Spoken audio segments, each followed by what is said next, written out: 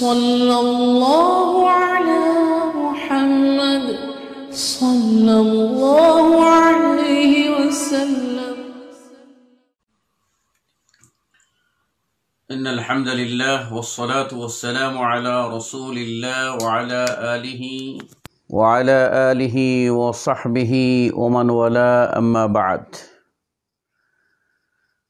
সম্মানিত দিনী ভাই ও বোনেরা পৃথিবীর যে প্রান্ত থেকে আপনারা আমাদের এই আয়োজনে অংশ নিচ্ছেন, আপনাদের সকলকে জানাই শুরুতে সালাম। আসসালামু আলাইকুম ওরহমতুল্লাহি ওবরাকাত আজকে যে বিষয়টি নিয়ে আপনাদের সামনে এসেছি, সেটি হলো অতি প্রাসঙ্গিক একটি জিজ্ঞাসা এর জবাব। জিজ্ঞাসা হলো, মহিলারা যখন সলাৎ আদায় করেন, তখন তারা পায়ের পাতা গোড়ালি খোলা রেখে সলাৎ আদায় করলে সলাৎ হবে কি? এই প্রশ্নের জবাবে আমরা বলব যে আল্লাহ রব্বুল আলমিন সৃষ্টিগতভাবে মহিলাদেরকে স্বাতন্ত্রিক বৈশিষ্ট্য দ্বারা সৃষ্টি করেছেন। তাদের আপাদ মস্তক তথা পা হতে মাথা পর্যন্ত পুরোটাই আওরাত, পুরোটাই ঢেকে রাখতে হয়। সলাৎ এমন একটি গুরুত্বপূর্ণ এবাদত যে এবাদতে মহিলাদেরকে অধিক পর্দাশীল হতে নির্দেশ দেওয়া হয়েছে। বাইতুল্লায় অর্থাৎ কাবায় যদি কেউ সলাৎ আদায় করেন, তাহলে পৃথিবীর অন্যান্য মসজিদ থেকে এক লক্ষ রাকাতের চেয়েও বেশি নেকি হবে। তারপরেও রসুল সাল্লাহ আলী সাল্লাম মহিলাদেরকে বলছেন, ও বয়ুত হুন্না আফজলুল্লাহ হুন্না মহিলাদের জন্য ঘরেই সলাৎ আদায় করা উত্তম। ঘরের মধ্যে কোন কক্ষটি উত্তম? সে মর্মে অপর হাদিসে এসেছে যে ওই কক্ষটি উত্তম, যে কক্ষটি নির্জন, যেখানে মানুষের আনাগোনা কম, এমন একটি নিরিবিলি কক্ষে সলাৎ আদায় করার প্রতি রসুল্লাহ সাল আলী ওসাল্লাম উদ্বুদ্ধ করেছেন। সেহেতু আমরা বুঝেই নিতে পারি মহিলাদের সলাৎ অবশ্যই অত্যন্ত সংযতভাবে আদায় করতে হবে। পুরু দেহের মধ্যে মহিলাদের জন্য কেবলমাত্র জরুরি অঙ্গ অর্থাৎ দুই হাতের কবজি পর্যন্ত এবং মুখমণ্ডল সলাৎ অবস্থায় খোলা রাখার নির্দেশ রয়েছে। পক্ষান্তরে স্বাভাবিকভাবে যে অঙ্গগুলি মহিলাদের পর্দার আওতামুক্ত, তার মধ্যে দুখানা পায়ের পাতা, গোড়ালি সহ, অর্থাৎ টাকনার নিচ, এটিও আপনার স্বাভাবিকভাবে বের হয়ে যায়। এজন্য আমরা যারা দেখি যে আমাদের সমাজের মহিলারা, আমাদের সমাজের মা বোনেরা, তারা যখন সলাৎ আদায় করেন, বেশিরভাগই সলাৎ আদায় করেন তারা শাড়ি পরে অথবা সেলোয়ার কামিজ পরে ওড়না দিয়ে ঢেকে তারপর সলাৎ আদায় করেন। তো সঙ্গত কারণেই পা দুটি, অর্থাৎ পায়ের গোড়ালি বেরিয়ে যাওয়া অর্থাৎ টাকনার নিচ, পায়ের পাতা বেরিয়ে যাওয়া অস্বাভাবিক কিছু না, বেরিয়ে যায়। বেশিরভাগই বেরিয়ে যায়। তো সেই ক্ষেত্রে তাদের সলাৎ হবে কি না? এই প্রশ্নের জবাবে আমরা বলব, প্রথমেই আপনাকে সিদ্ধান্ত নিতে হবে যে মহিলাদেরকে পায়ের পাতা ডেকে রাখা ওয়াজিব কি না। যদি ওয়াজিব হয়ে থাকে, তাহলে অবশ্যই সেখানে প্রশ্ন আসবে যে সলাতে ঢেকে রাখতে হবে কি না।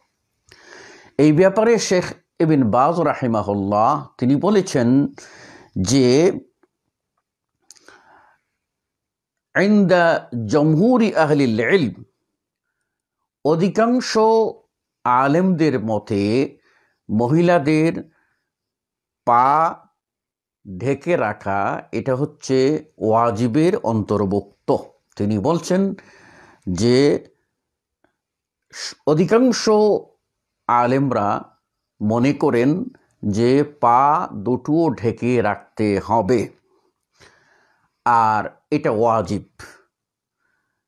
কিছু আলেমদের মত হলো যে না, এটা ওয়াজিব নয়, কেননা চলন্ত পথে মানুষের প্রয়োজন দুই হাতের কবজি বের হবে, মুখমণ্ডল বের হবে, অনুরূপভাবে আপনার পায়ের গুড়ালিও বের হবে। সেক্ষেত্রে শেখুল ইসলাম ইবিন তাইমিয়া রাহিমাহুল্লাহ এই পায়ের টাকনা পর্যন্ত ঢেকে রাখা আবশ্যক এই মর্মে অভিমত দেননি। এবং শেখ মোহাম্মদ বিন সালেহ আল হুসাইমিন রাহিমাহুল্লাহ তিনিও অনুরূপ মত ব্যক্ত করেছেন। তবে আমরা জানি যে রসুল্লাহ সাল আলী ওসাল্লাম এর স্ত্রীগণ ও মাহাতুল মিনীন তাদের বক্তব্য আমরা এটা স্পষ্ট করে জানি যে তারা যখন কোনো সফরে থাকতেন, তখন তাদের মুখর মাথার উপরে কাপড় থাকতো আর কোনো বেগানা পুরুষ যখন তাদের সামনে দিয়ে অতিক্রম করত, তখন তারা কাপড় টেনে, ওড়নাটা টেনে ভালো করে মুখমণ্ডল ঢেকে দিতেন এবং বেগানা পুরুষ অতিক্রম করার পরে খুলতেন।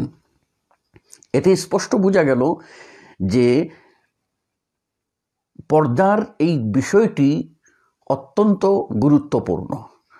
মহিলাদের মুখমণ্ডল ডেকে রাখা যেরকম গুরুত্বপূর্ণ, অনুরূপভাবে সলাতের মধ্যেও নির্বিঘ্নে তারা সলাৎ আদায় করবেন এবং তারা নির্জন স্থানে নিরিবিলি জায়গায় সলাৎ আদায় করবেন যেন বেগানা কোনো পুরুষের দৃষ্টি তাদের দিকে না পড়ে। সাথে সাথে এও লক্ষণীয় যে মহিলাদের পা দুটি ঢেকে রাখার পক্ষে অধিকাংশ ওলামার ওলামারা অভিমত দিয়েছেন। তারা সোনানে আবু দাউদে বর্ণিত উম্মে সালামা কর্তৃক যে হাদিসটি বর্ণিত হয়েছে, হাদিস নম্বর হলো ছয়শত চল্লিশ। যেখানে উম্মে সালামা বলেন যে সালতুন নবী সাল্লাহ আলাইসাল্লামা আতুসাল্লিল মার আফি দিরইন বখিমারিন লাইসা আলাইহা ইজা ইজার।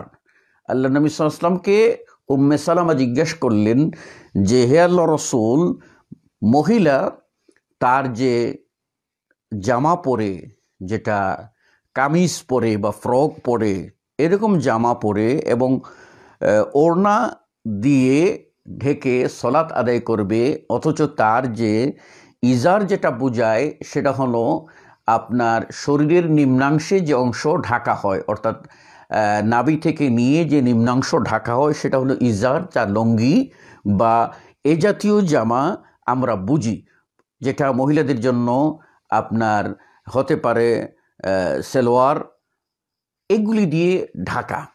তো এই সেলোয়ার নেই এই রকম অবস্থায় কোনো মহিলা যদি পুরো শরীর ঢেকে এবং ওড়না দিয়ে সলাৎ, ওড়না দিয়ে ঢেকে সলাৎ আদায় করে, তাহলে সলাৎ হবে কি?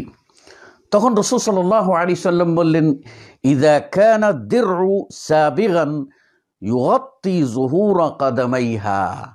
আল্লাহনি বলেন হ্যাঁ হবে যদি একজন মহিলার এই কামিজটা বা জামাটা যেটা পরে এসে সলাৎ আদায় করতেছে, যেটা তার মূল জামা, সেটা যদি লম্বা হয়ে ঝুলে গিয়ে দু, তার দুই পায়ের পাতা ঢেকে দে।